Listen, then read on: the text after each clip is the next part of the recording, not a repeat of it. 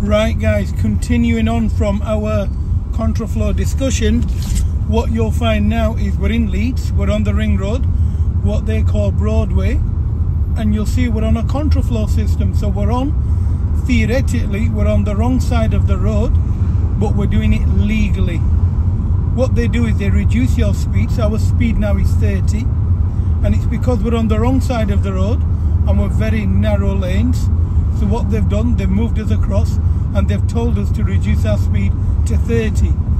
Now we can see the speed limit as it's 30, it's enforceable because it's a round sign with a, a red band.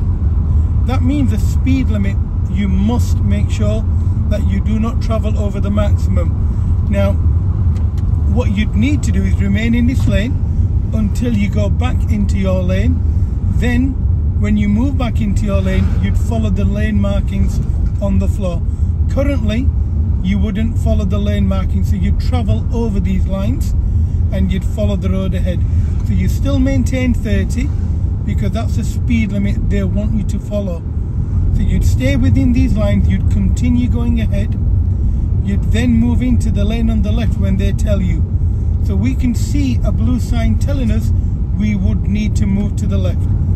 So we can look into our mirror. We know there's nobody there, but there could be some plant machinery, roadworks machinery.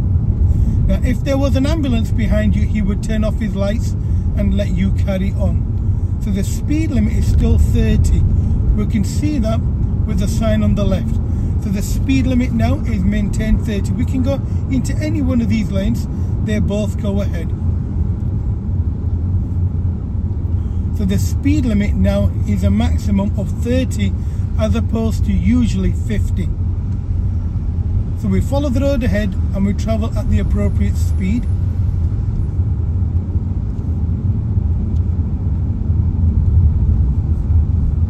Remembering the speed limit was still 30. Now we haven't seen a speed limit sign, we've just seen a 50 sign there so we can go up to 50. So we're going to go up to 50 now. Now it was 30, but they've turned the sign off. They've covered the sign. And these signs are clearly visible, so you would go back to this. However, if you saw a 50 and a 40, you would travel at the 40 because it's safer traveling at a lower speed limit than it is traveling at a higher speed limit.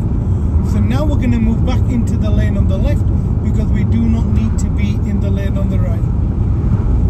Checked our mirrors and we've signalled, we made sure it's safe and we came back into our lane.